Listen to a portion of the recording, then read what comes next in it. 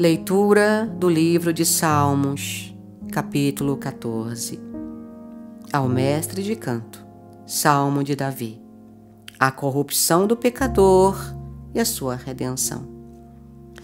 Diz o insensato no seu coração: Não há Deus. São corruptos e praticam a abominação. Já não há quem faça o bem. Do céu o Senhor olha para os filhos dos homens para ver se há quem tenha entendimento, se há quem busque a Deus. Todos se desviaram e juntamente se corromperam. Não há quem faça o bem, não há nenhum sequer.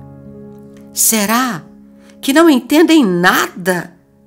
Todos esses que praticam a iniquidade, que devoram o meu povo como se comessem pão e que não invocam o Senhor, lá ficarão tomados de grande pavor, porque Deus está com a linhagem do justo.